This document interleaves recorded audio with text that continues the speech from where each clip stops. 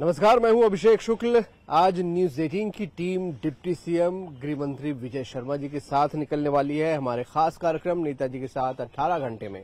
हम उनके साथ चुनावी दौरे में जाएँगे और चुनावी दौरा भी उस जगह पर होगा जो छत्तीसगढ़ की सबसे हॉट सीट है, यानी राजनांदगांव सीट। वहाँ से कवर्धा से विजय शर्मा विधायक भी हैं तो एक बड़ी ज़िम्मेदारी इस लोकसभा सीट को लेकर भी उनके पास है। क्या रणनीति है प्रदेश भर में?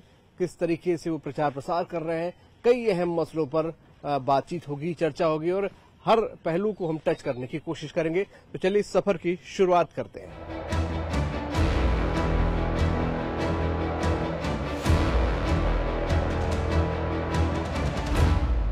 विजय शर्मा जी हमारे साथ हैं। सर, ये क्या दिन की शुरुआत अभी रोज ऐसे ही हो रही है? आपके क्षेत्र से लोग आए।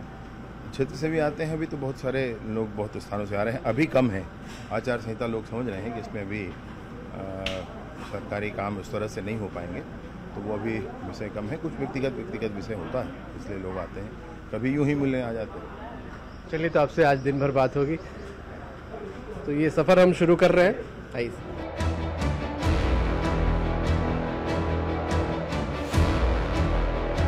छत्तीसगढ़ में चुनाव प्रचार इस वक्त चरम पर है और लोकसभा चुनाव के लिए तमाम भाजपा के दिग्गज अपने अपने क्षेत्र में प्रचार प्रसार के लिए जा रहे हैं।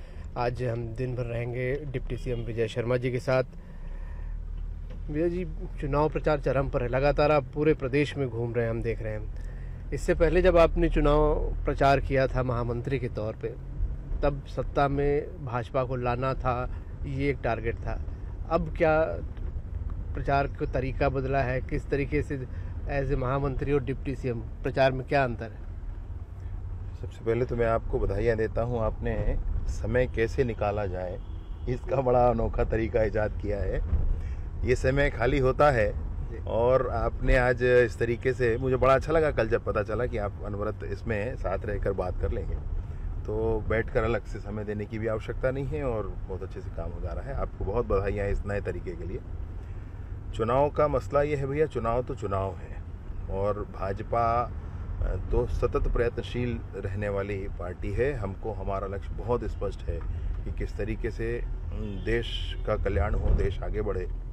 और ये जो लक्ष्य है, ये बड़ा लक्ष्य है, इसके लिए बहुत काम करने की आवश्यकता है। विधानसभा चुनाव था तो बहुत स्पष्टता के साथ वो जो सरकार थी, भ्रष्ट सरकार थी, उसके बहुत सारे मसले थे जिस पर जन जागरण करना था, वो एक अलग मसला था। आज के समय में मोदी जी को लोग वोट देना चाहते हैं। बस एक बार उनके दरवाजे पहुंचकर हाथ जोड़ने की ज़रूरत है। तो ये हमारा धर्म, कर्तव्य है राजनीतिक कार्यकर्ता होने के नाते कि हम जनता के बीच में पहुँचें और हाथ जोड़कर उनसे वोट मांगें। मोदी जी के समर्थन में वोट मांगें। हमारे स्थानीय भारतीय जनता पार्टी के प्रत्याशी, सांसद के हैं, वो जिताएँ, उनको जिताने के लिए वोट मांगें। ग्यारह की ग्यारह सीटें छत्तीसगढ़ में हम जीत जाएँ, इसके लिए वोट मांगें। विधानसभा चुनाव आप लड़ रहे थे, तब भी सबसे टफ फाइट में से आपकी एक फाइट थी, क्योंकि आपके अपोनेंट जो थे, मोहम्मद अकबर 2018 में सबसे ज़्यादा वोटों से जीते थे।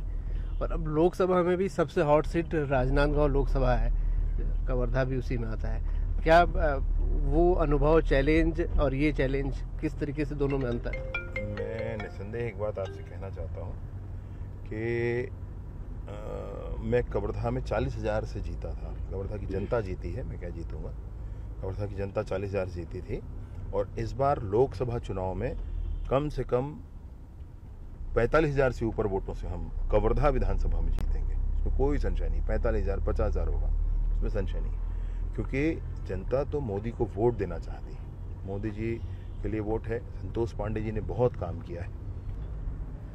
झंडा विवाद वहाँ पे एक हुआ था और पहली बार इतना लंबा समय कवर्धा जैसी जगह पे कर्फ्यू भी लग गया वहाँ पर और उस झंडे और सनातन का, की जो जंग थी, उसमें आपको भी वहाँ पर एक आरोपी बनाकर अंदर किया गया था और शायद दिवाली का भी आपने दिवाली भी आपने अंदर ही गुजारी थी। क्या वो याद आता है कभी? हर दिवाली में याद आता है साहब। मेरे बेटे का जन्मदिन था जिस दिन अरेस्ट हुए हम लोग। तो घर में पूजा पाठ कुछ होना था तो बेटे से मैंने कहा कि बेटा मैं दस मिनट में आता हूँ। थोड़ा मार्केट एक काम है कुछ लोगों से मिलना है मैं मिल के आ रहा हूँ। फिर अपन पूजा करेंगे। हम्म। तो बस उसके बाद फिर मैं इक्कीस दिन बाद आया? और अभी जन्मदिन पर वो बात याद रहती है। अभी दीपावली पर वो बात याद रहती है। वो चीज़ भूलती नहीं है कभी। जिस जेल में हम लोग थे जिस सेल में हम लोग थे हम्म, वो मैं देखने गया था बाद में। उसके मुआयने पर गया था। पूरा फर्जी प्रखंड बना करके अंदर किया गया था। और जब अंदर थे तो और अनेक प्रखंड बनाए गए। वो सारे फर्जी। सारे फर्जी थे। और ऐसे भी प्रशासन में हो सकता है ये तो मुझे आश्चर्य होता है। आज मैं खुद यहाँ पर हूँ मुझे नहीं लगता कि ऐसे हो सकता है ना ही होना चाहिए कभी। गृह मंत्री के तौर पर आप खुद अब कई जेलों का निरीक्षण करने पहुँचते हैं। आपने बताया कि आप खुद उस जेल में भी पहुँचे जहाँ पर आपको रखा गया था। क्या उस समय आपके दिमाग में क्या जहन में चल रहा था? ये बड़ा अजीब अनुभव था। मैं इसको लोकतंत्र की ताकत मानता हूँ और भाजपा के कार्यकर्ता की भी ताकत मानता हूँ। कि जिस जेल में आपको ज़बरदस्ती ठूंस दिया गया था उस जेल में मैं जब गृह मंत्री के नाते मैंने परीक्षण करने गया उसका तो बिल्कुल अजब अनुभव था। वो जेलर भी वही थे वो स्टाफ भी वही था सब वही थे। और ऐसा ही एक मसला मैं आपसे और कहूँ कि प्रधानमंत्री आवास के लिए भारतीय जनता पार्टी की उस समय की टीम ने बहुत काम किया था। मोर आवास मोर अधिकार रोक के रखे है भूपेश सरकार। हम्म। तो मोर आवास मोर अधिकार ये जो आंदोलन था इस आंदोलन का काम मुझे ही पार्टी ने सौंपा था। उसके नाते खूब काम किए विधानसभा का घेराव हुआ। घेराव के समय दोनों टांगे पकड़कर खींची गई। तो पीठ भी फटा था और शर्ट भी फटा था। लेकिन सरकार बनने के बाद पहली कैबिनेट की बैठक के पहले लाइन पर जब 18 लाख आवास की स्वीकृति के लिए मैंने हस्ताक्षर किया माननीय मुख्यमंत्री जी के साथ वो सुकून शायद कहीं और नहीं मिल सकता वो खुशी वो संतुष्टि शायद और कहीं नहीं मिल सकती जो वो संतुष्टि थी। बिल्कुल पीएम आवास शायद आप लोगों का पहला सबसे बड़ा आंदोलन था जो कि पूरे प्रदेश भर से आप लोगों ने जो हितग्राही पहुँचे थे। प्रदेश भर में हुआ वो गाँव गाँव तक था। प्रधानमंत्री आवास के लिए तो गाँव में भी लोगों ने आंदोलन किए फिर विधानसभा स्तर पर आंदोलन हुआ फिर ज़िले स्तर पर आंदोलन हुआ फिर अ, प्रदेश स्तर पर विधानसभा का घेराव हुआ था। और रायपुर के इस आंदोलन में शायद बम के गोले वोले भी फटे। बम के गोले फटे थे जी जी वो बिल्कुल सामने ही मेरे फटा था। एक हमारा बेमेतरा के कार्यकर्ता है उनके कमर पर लगा था पीछे। हम्म। तीन चार बम फेंके गए थे। बहुत ही विचित्र स्थिति थी वो। पाँच साल आपने बहुत स्ट्रगल किया बल्कि आप बता रहे चालीस साल से जुड़े हुए थे लेकिन पिछले पाँच साल जो भी आपके आंदोलन रहे उसमें खाकी वर्दी आपके सामने अपोजिट में ज़रूर रही है। और बड़ा गहरा रिश्ता पाँच साल भी था आपका उनसे। अब एज ए उस डिपार्टमेंट के हेड जब आप बैठक करते हैं, क्या आपकी फीलिंग है? क्या उधर से कुछ रिएक्शन आते हैं? नहीं सर, बिल्कुल नहीं। मसला ये है, प्रशासन को तो न्यूट्रल रहना है और शासन के साथ चलना है। ये उनका भाव होना चाहिए और वो ऐसा, वैसा ही मुझे अभी भी लगता है। कवर्धा में जो एसपी थे वो तभी के एसपी हैं जब कांग्रेस की सरकार थी। कवर्धा में जो कलेक्टर हैं वो तभी के कलेक्टर हैं जब कांग्रेस की सरकार थी। ऐसा दुराभाव किसी के प्रति नहीं है। बहुत सारी बैठकों में मैंने चाहे यहाँ पर एसपी कॉन्फ्रेंस हुआ उसमें डीजीपी के साथ बैठक है डीजी के साथ बैठक है उसमें या अन्य जिलों की बैठक है उसमें भी मैंने बहुत स्पष्ट किया कि पूर्वाग्रह कृषि के प्रति नहीं है। सिर्फ़ और सिर्फ़ एक बात है अभी आपका काम आपके हमारे अच्छे संबंध का आधार है। बाकी कोई दूसरी बात नहीं। गृह मंत्री बनते साथ और डिप्टी सीएम बनते साथ आपने नशे को लेकर एक बड़ा अभियान छेड़ा हुआ है। क्या आप मानते हैं कि नशा भी यूथ को बिगाड़ रहा था और एक बड़ा इशू था जो कि विधानसभा चुनाव में भी आप लोगों ने उठाया और लोगों को टच भी किया? है इसमें मैं आपको जब हम लोग विपक्ष में थे काम करते थे तो मैं जहाँ रहता हूँ हमारे मोहल्ले के ही आसपास लड़के इंजेक्शन लगाते हैं। हाँ वो नशा बहुत ही खतरनाक होता है। उसमें आपको ना स्मेल आएगा ना पता चलेगा कुछ कि कुछ किया हुआ ही है। वो मानसिक रूप से स्वस्थ नहीं रहता है तब। और तब वो कुछ भी करता है इतनी उत्तेजना होती है उसमें। और ये तीन चार दिनों तक लगातार चलते रहता है। फिर लड़के अपने घर से चोरी करते थे। वो उनकी घर उनकी माताएँ आती थी बताती थी कभी जाकर उनसे बात करते थे। कभी वो हॉस्पिटल में एडमिट हो गए लड़के तो हॉस्पिटल देखने गए। बहुत सारी बातें हुई। उनके विषयों को लेकर पुलिस के पास गए कि भाई इनको अरेस्ट किया जाए। वो सब देखते देखते बिल्कुल ये स्पष्ट मेरे मन में था कि ये जो चाकूबाजी की घटनाएँ हो रही थी रायपुर में और अन्य स्थानों पर अभी आपको बहुत दिनों से चाकूबाजी की घटना रायपुर में नहीं मिली। उसके लिए एक एनालिसिस के लिए भी बात हुई थी तो पुलिस विभाग ने एनालिसिस करके दिखाया भी था कि जहाँ पर ऐसे सूखे नशे का इंजेक्शन के नशे का और दूसरे किस्म के नशों नशे का व्यापार या उपयोग हो रहा है और जहाँ पर चाकूबाजी की घटनाएँ हो रही हैं वो लगभग ओवरलैप्ड हैं आसपास ही हैं। तो वो नशा किया बस थोड़ी देर ये रहा और फिर एक घटना हो गई। तो उसमें फिर आदमी आपे में तो रह नहीं पाता है।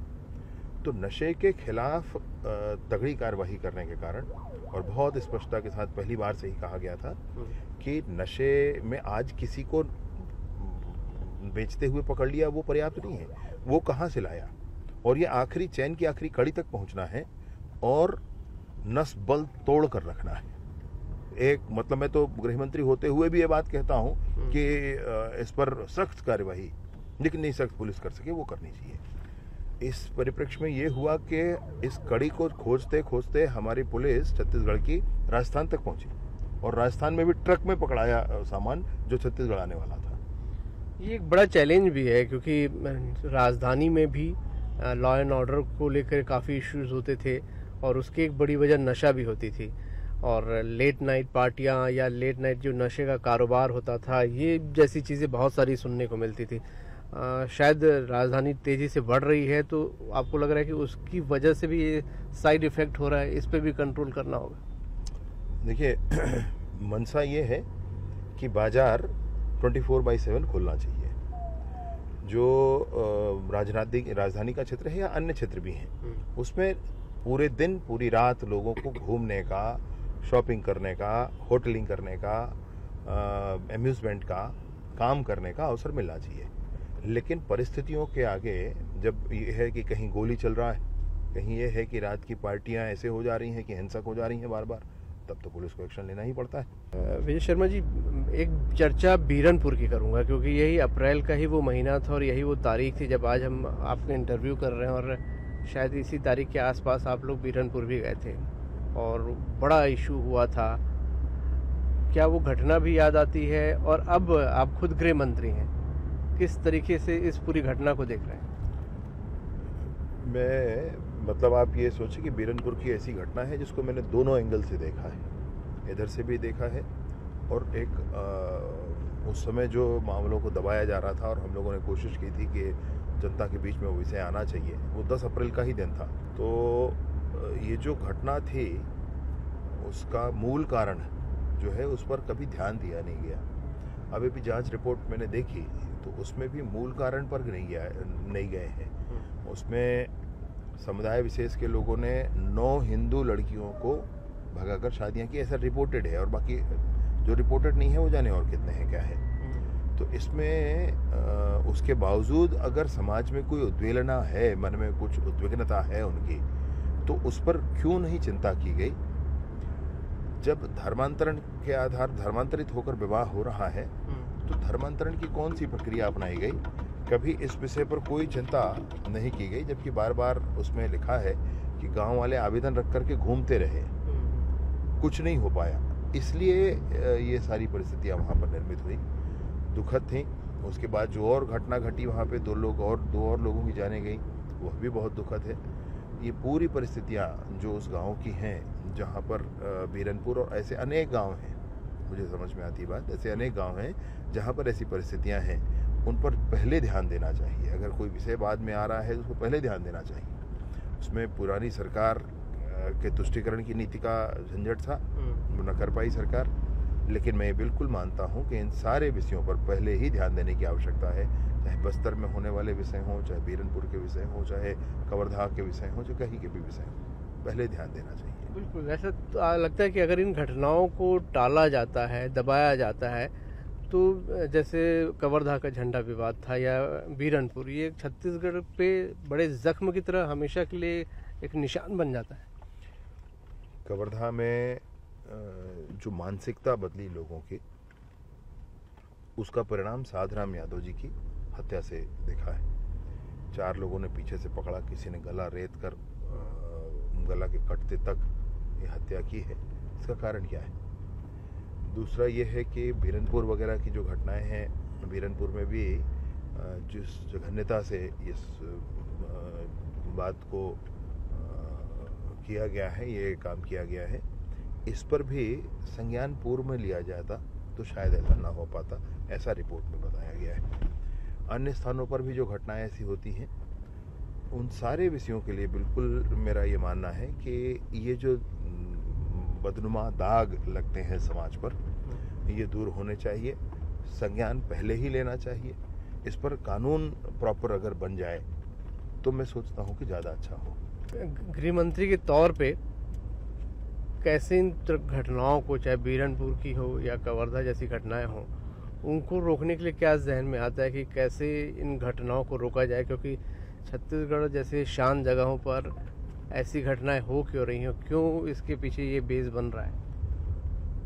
जो कुछ घटना जैसे बीरनपुर की घटना आप लें तो वो जो घटना हुई उसका कारण आप लेंगे तो वो लंबा है।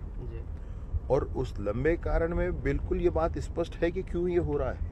एक समाज कहता है कि हमारे साथ ऐसा हो रहा है पीड़ित है और दूसरा समाज उसमें ध्यान न दे करके और उस विषय को आगे अगर बढ़ा रहा है हम्म। तो शासन को ध्यान देना चाहिए प्रशासन को ध्यान देना चाहिए संज्ञान लेना चाहिए जब गाँव वाले आवेदन लेकर के समूह में आते हैं ना हम्म। तो उसका अर्थ होता है उस समय उसको सुनना चाहिए उसको समझने की कोशिश करना चाहिए छत्तीसगढ़ के परिप्रेक्ष्य में मैं बिल्कुल ये मानता हूँ कि इस तरह की सारी बातों को समझते हुए आ, किसी एक स्वरूप में सरकार आगे बढ़ेगी कुछ एक निर्णय के साथ सरकार आगे बढ़ेगी नक्सल इलाकों पे आते हैं क्योंकि गृह मंत्री भी आप हैं और आपने कई पूर्ववर्ती जैसे गाँव का दौरा भी किया और वहाँ पे कैंप भी अब खोला गया हिडमा का जो गाँव था, वहाँ के लोगों को आपने विज़िट भी कराया, राजधानी भी लेकर आए। अभी एक मंदिर भी वहाँ पर सुरक्षा बलों ने, भगवान राम का बताया जा रहा है कि इकहत्तर साल पुराना मंदिर था जो बंद पड़ा हुआ था, वो ओपन हुआ। कैसे इन तमाम घटनाओं को जोड़ के देखते हैं? क्या कैंप खोलने का फ़ायदा है? नक्सल इलाकों में बहुत स्पष्टता के साथ मैं आपसे कहना चाहता हूँ कि लोग मानते हैं कि वहाँ पर बिजली, पानी, सड़क, मोबाइल टावर, आंगनबाड़ी, अस्पताल, स्कूल, ये सब आना चाहिए। सब मानते हैं। ये आज के जीवन की मौलिक आवश्यकताएँ इसको रोकना नहीं चाहिए। जनता चाहती है इसलिए जो कैंप आज जा रहे हैं तो वो किसी सुरक्षा के कैंप नहीं है, वो विकास के कैंप हैं जो वहाँ जा रहे हैं। इसलिए जनता अभी मांगती, सोचती है कि कैंप आना चाहिए। कभी समय था जब विरोध उसका हुआ करता था, ऐसा लोगों में भ्रम था। आज लोग कैंप मांगते हैं। ये जो कैंप गया है, सुकमा ज़िले के केरला पेदा ऐसा स्थान है, जहाँ पर सैकड़ों साल पुराना मंदिर है, और दशकों से बंद था, दशकों से बंद था।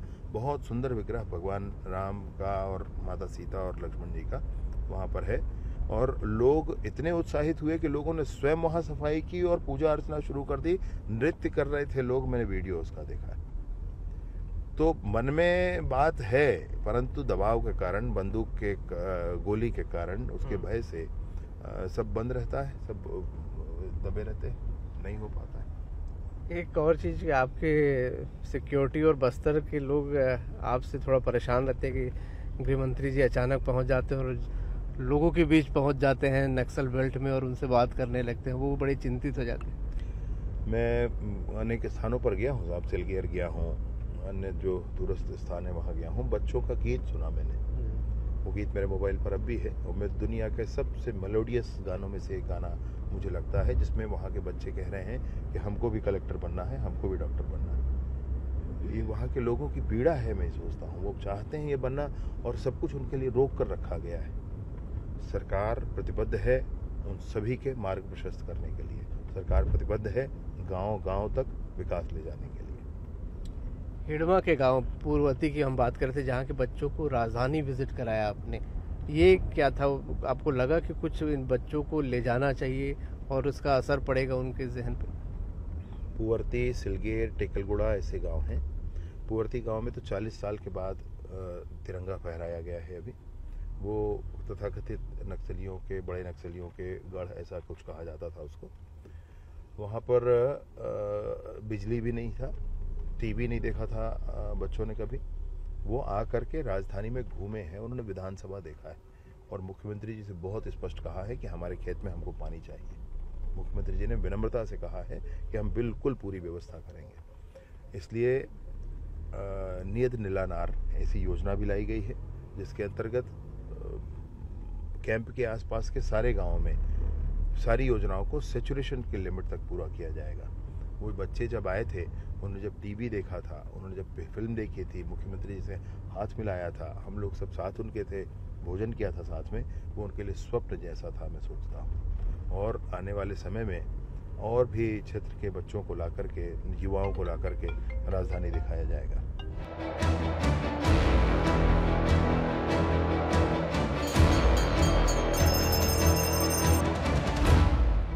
तो डिप्टी सीएम गृह मंत्री विजय शर्मा का काफिला घुघरी कला गाँव में इस वक्त आया है लगातार। वो प्रचार कर रहे हैं सभाएँ ले रहे हैं। कुछ और लोगों से हम यहाँ बात करने की कोशिश करते हैं। भाई ये कौन है जानता विजय भैया। विजय भैया है। हाँ। चुनाव प्रचार में आए हैं? हाँ। अच्छा क्या माहौल है? कैसा लग रहा है? कैसा अच्छा, काम कर रहे हैं? बहुत अच्छा लग रहा है अच्छा।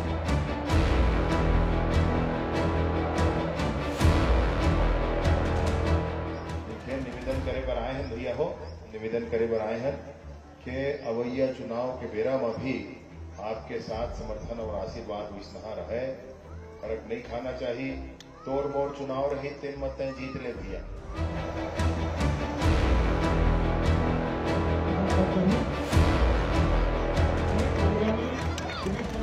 है, आसपास के देश जिन हवे, वो देश मन पहली हमर मन हमन आखी दिखावे प्रसार करे अभी जब से उनका देश के अंदर घुस के मारे हैं, तब से आतंकवाद वगैरह की घटना में काफ़ी कमी आ है।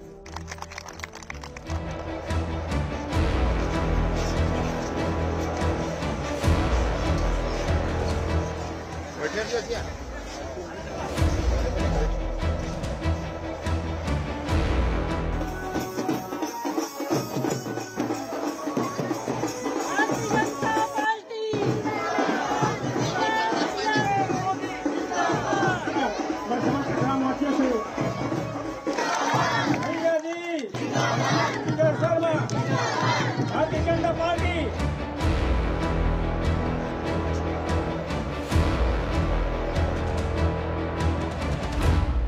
जिनका वहाँ धाम में वीरनपुरी धाम में उन्नति के काम हुए हैं। वहाँ पे विकास के काम हुए हैं। चुनाव हो सका तो लगातार प्रचार प्रसार हो रहा है। डिप्टी सीएम विजय शर्मा हमारे साथ हैं। विजय जी हम कई सभाओं में आपके साथ घूम रहे हैं। पीएम मोदी का ज़िक्र आता है। पीएम मोदी वर्सेस क्या मानते हैं यहाँ पर लोकसभा में क्या? नहीं मसला दो है। एक है माननीय प्रधानमंत्री जो मोदी जी की छवि भारत की जनता, न सिर्फ़ इस गाँव की, न सिर्फ़ कवर्धा विधानसभा या लोकसभा क्षेत्र राजनांदगांव की, भारत की जनता नरेंद्र मोदी जी को प्रधानमंत्री बनाना चाहती और इसलिए कमल के निशान पर वोट करने वाली है। और दूसरा महत्वपूर्ण विषय है हमारे सांसद के प्रत्याशी संतोष पांडे जी। बहुत अच्छी छवि, बहुत अच्छा काम उन्होंने किया, इसलिए जनता उनको भी चुनना चाहती पूर्व मुख्यमंत्री भी यहाँ से खड़े हैं, वो भी प्रचार कर रहे हैं। वो कितनी बड़ी चुनौती के तौर पे देख नहीं, मसला ये है कि जनता उनसे पूछने वाली है कि जिस आतताई को आपने पिछली बार मोहम्मद अकबर नाम का कवर्धा में बिठाया था हम सब के ऊपर फर्जी एफआईआर करवाए थे, यहाँ के लोगों को धमकवाया था, वो क्यों किया था? उनसे पूछना हम चाहते हैं कि शराब का घोटाला हुआ, उसका पैसा कैसे किया आपने? हम पूछना चाहते, पूरी जनता पूछना चाहती है, आप पूछ लें। मतलब आप किसी से पूछेंगे, मैं आपसे निवेदन करता हूँ कि पूछेंगे, लोग आपको बताएँगे कि आप महादेव ऐप का पैसा कहाँ गया? कोयले के घोटाले का पैसा क्या किया आपने? आपने सारा सरकार ही ऐसा बना दिया था कि व्यापार चल रही है कि सरकार चल रही है, पता नहीं चलता था। उनके संदर्भ में ज़रूर ये बात पूछना चाहते हैं कि जैसे चरणदास महन जी ने कहा है कि भूपेश बघेल कौन है तो नरेंद्र मोदी के मुड़ी फुरैया। ये ऐसा सांसद कोई बनाना चाहेगा जो आकर के नरेंद्र मोदी जी का सर पड़े पूछेगी जनता उनसे। तो हम लगातार जय जय श्री राम जय जय श्री राम जो इसको नहीं लगाया उससे पूछिए हाँ। जे नहीं लगाया होगा ना उससे पूछिए आप। आइए। जी, चलिए लोगों के साथ हम लगातार बात कर रहे हैं देख रहे हैं कि विजय शर्मा जहाँ भी जा रहे हैं वहाँ पर प्रधानमंत्री के कामकाज और उनकी बात कर रहे हैं। साथ ही साथ पिछले पाँच साल जो कांग्रेस की सरकार रही है उसमें क्या कमियाँ रही वहाँ क्या क्या आरोप उन पर रहे पूर्व मुख्यमंत्री भूपेश बघेल यहाँ से खड़े हुए हैं उन पर क्या क्या आरोप रहे और किस तरीके की बातें हो रही हैं वो भी एक चर्चा का केंद्र लोगों के बीच बना हुआ है। चलिए इस चुनावी सफ़र को जारी रखते हैं डिप्टी सीएम विजय शर्मा के साथ पूरा दिन हमने गुजारा है और कई सभाएँ करने के बाद आज विजय शर्मा को यहाँ पर कार्यालय पहुँचे हैं, जहाँ कार्यकर्ताओं को वो संबोधित करेंगे। लगातार यह सिलसिला उनके चुनाव प्रचार का चल रहा है। कई अहम मसलों पर हमने बात की, क्योंकि सबसे हॉट सीट छत्तीसगढ़ की अगर कोई है तो राजनांदगांव सीट है। तो इस सफ़र पर फ़िलहाल इतना ही। आगे फिर किसी और सफ़र पर निकलेंगे। कैमरामैन मनीष गीते के साथ अभिषेक शुक्ल, न्यूज़ एटीन, छत्तीसगढ़, कवर्धा।